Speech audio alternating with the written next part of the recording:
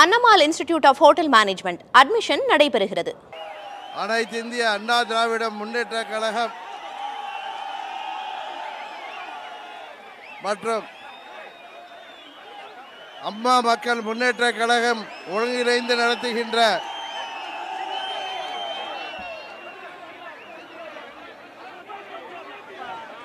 இந்த கொடநாடு கொலை மற்றும் கொள்ளை குற்றவாளிகளை கைது செய்யாமல் காலம் தாழ்த்துகின்ற மக்கள் விரோத திமுக அரசை கண்டித்து அனைத்திந்திய அண்ணா திராவிட முன்னேற்ற கழகத்தின் ஒருங்கிணைப்பாளர் எனது அருமை நண்பர் முன்னாள் முதலமைச்சர் திரு ஓபிஎஸ் அவர்கள் தலைமையிலே நடைபெற்றுக் கொண்டிருக்கின்ற இந்த அனல் பறக்கின்ற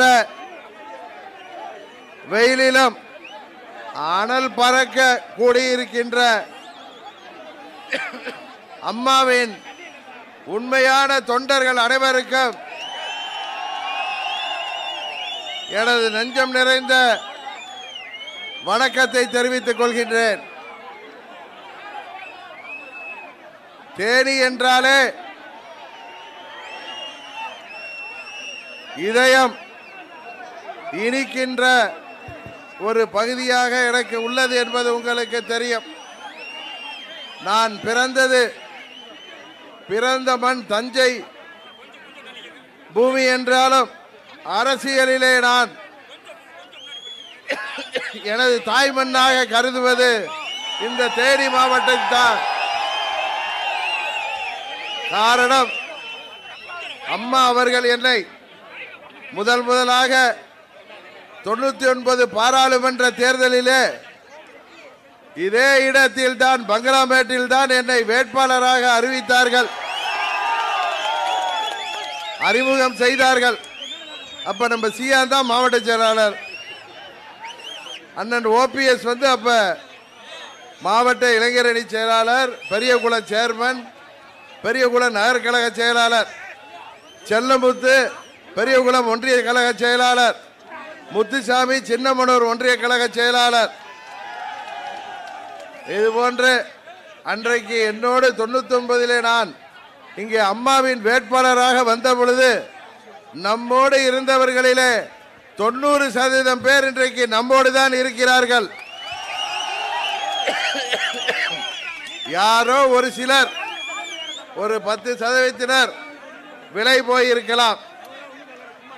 ஆனால் அம்மாவின் உண்மையான தொண்டர்கள் எதற்கும் விலை போகாத தொண்டர்கள் எங்கள் இருவரின் பின்னால் திரண்டிருக்கிறார்கள் என்பதுதான் உண்மை. இங்கே கூடியிருக்கின்ற கூட்டம் தானாக கூடிய கூட்டம். இது காசு கொடுத்து கூட்டிய கூட்டம் இல்ல இங்கே வருகை புரிந்திருப்பவர்கள் பிரியாணிக்கும் டாஸ்மாகுக்கும் வந்தவர்கள் அல்ல.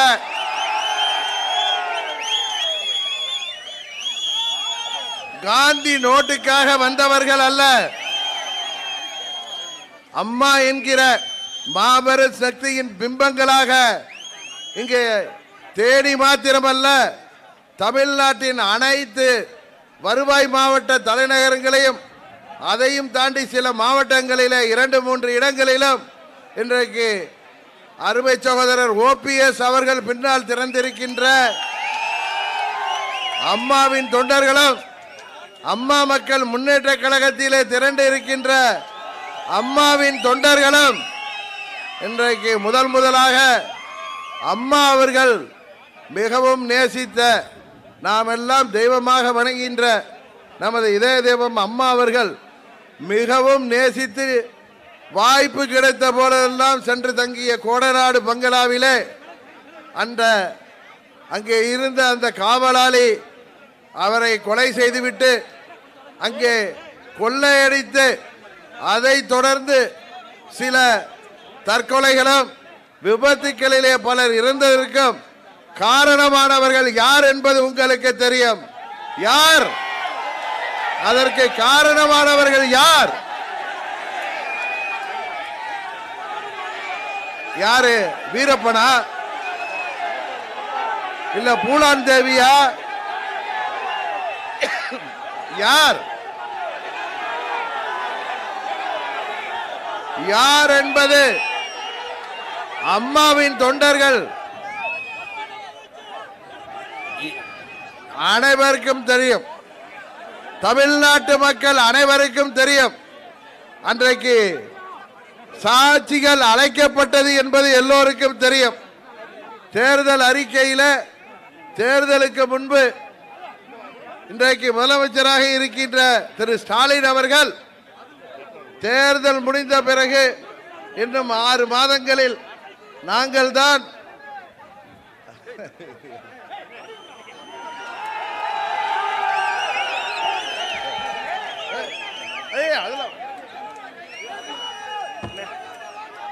என்ன? நல்லா இருக்கு. இன்னும் மூன்று மாதத்தில் நாங்கள் ஆட்சி பொறுப்பை ஏற்று தொண்ணூறு நாட்களுக்குள் கொலைநாடு குற்றவாளிகளை அங்கே கொள்ளையடித்தவர்களை கைது செய்து சிறையில் அடைப்போம் அது எவ்வளவு பெரிய கொம்பனாக இருந்தாலும் அவர்களை நாங்கள் விடமாட்டோம்னு சொன்னார்.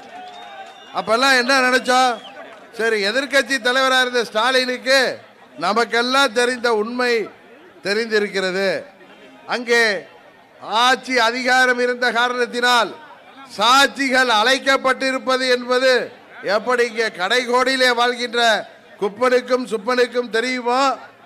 அம்மாவின் தொண்டர்கள் அனைவருக்கும் தெரியுமோ? அதுபோல தமிழ்நாட்டு மக்கள் அனைவருக்கும் தெரிந்த விஷயம் திரு ஸ்டாலின் அன்றைக்கு எதிர்க்கட்சி தலைவராக இருந்த பொழுது அவருக்கும் தெரிந்திருக்கும் என்று தான் எல்லோரும் நம்பினார்கள். ஆனால் ஆட்சி பொறுப்புக்கு வந்து இன்றைக்கு இரண்டு ஆண்டுகள் தாண்டி விட்டது. மூன்று மாதங்களிலே பிடித்து விடுவோம் அவர்களை என்று சொன்னவர்கள் முப்பது மாதமாக போகிறது. வழக்கம் போல் இதை இந்த தேர்தல் வாக்குறுதியையும் ஸ்டாலின் அவர்கள் மறந்து விட்டார்கள் இன்னும் சொல்ல போனால் சில மாதங்களுக்கு முன்பு சட்டமன்றத்தில் அங்கே சாட்சிகளை அழைத்தார்கள். அங்கே உண்மையான குற்றவாளிகளை நாங்கள் நெருங்கிவிட்டோம். அந்த சாட்சிகளை கலைத்தவர்களை அதையும் தாண்டி காவல்துறை நெருங்கிவிட்டது என்று சொன்னார். நெருங்கிய பிறகு இன்றும் இன்று வரை கைது செய்யாத காரணத்தினால்தான் அம்மாவின் உண்மையான தொண்டர்களும் தமிழ்நாட்டு மக்களும் மிகவும் வருத்தப்படுகின்ற அந்த சம்பவத்திற்கு காரணமானவர்களை கைது செய்ய வேண்டும் என்று அண்ணன் ஓபிஎஸ் அவர்கள் இந்த போராட்டத்தை அறிவித்தார்கள். என்னிடம் ஊடக நண்பர்கள் கேட்ட பொழுது அவருடைய போராட்டத்திற்கு எங்களுக்கு ஆதரவு உண்டு என்று நான் ஊடகத்திலே சொல்லிவிட்டேன்.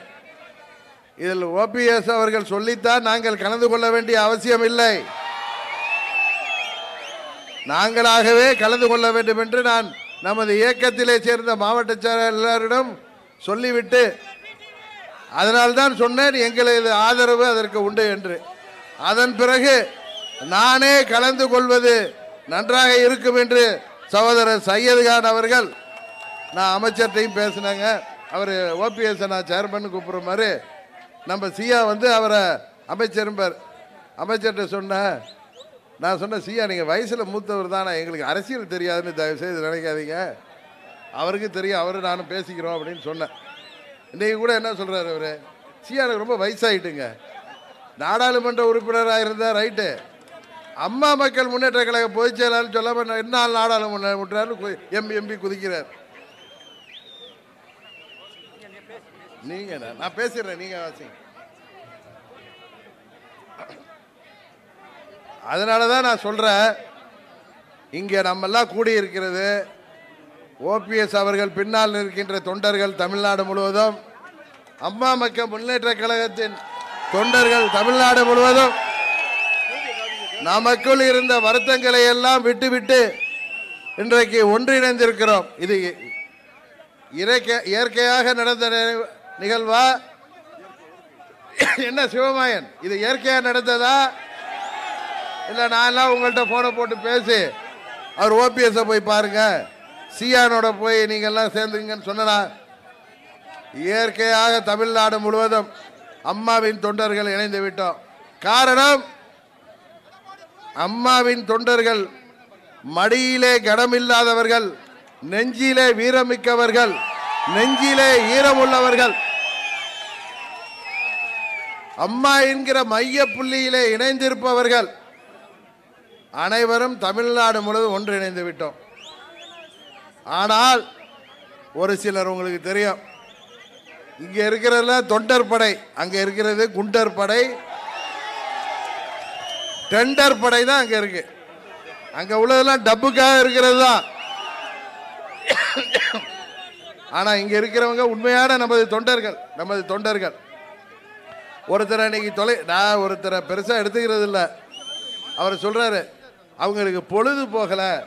எங்கள் ரெண்டு பேரும் பொழுது போகலையா? அதனால் தமிழ்நாடு ஃபுல்லாக போராட்டம் நடத்துகிறோமா இன்னொன்று அச்சாணி இல்லாத ஒரு வண்டியாக அம்மா மக்கள் முன்னேற்ற கழகம்? இவங்களுக்கு என்ன அச்சாணினா என்னன்னு தெரியுமா? இவங்களுக்கு இப்போ நாங்களுக்கு பொழுது போகலைங்கிறாரு. அவங்களுக்கு பொழுது போகலைன்னா சந்தில் சிந்து பாடி சிந்து பார்த்து வேலை பார்க்குறவங்க. நான் சொல்ல புரியுதில்ல? நாங்கள் பொழுது வீட்டில் இருப்போம். பொழுது போகலன்னா ஆனால் சந்தில் போய் சிந்து பாடி சிந்து பார்த்து வேலை செய்பவர்கள் அச்சாணியை பற்றி பேசுகிறாங்க ஒரு இயக்கத்தின் உண்மையான அச்சாணி என்பது விசுவாசமிக்க தொண்டர்கள் என்பதை கூட அவர்களுக்கு தெரியல. ஏன்னா அவங்க கண்ணுக்கு தெரியாது விசுவாசம்னா என்னன்னு. தொண்டர்களின் விசுவாசம்னா என்னன்னு தெரியாது. ஏன்னா அவங்கெல்லாம் துரோகத்தை தவிர வேற எதையும் அறியாதவர்கள்.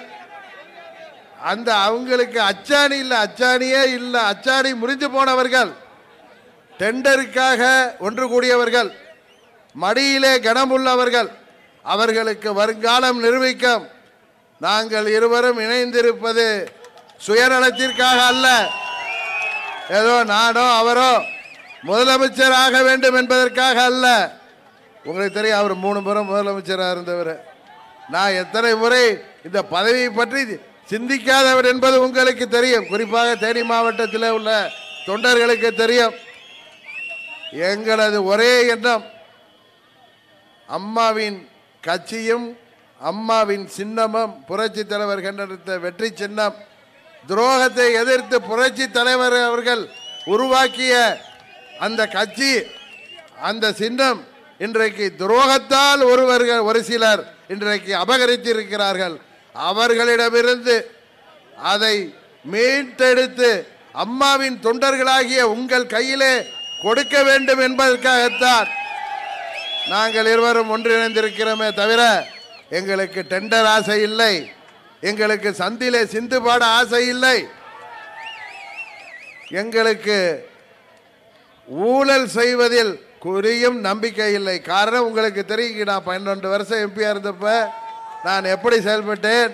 அவர் அமைச்சராக இருந்த பொழுது எப்படி செயல்பட்டிருக்கிறார் என்பது தெரியும். உங்களுக்கு தெரியும்.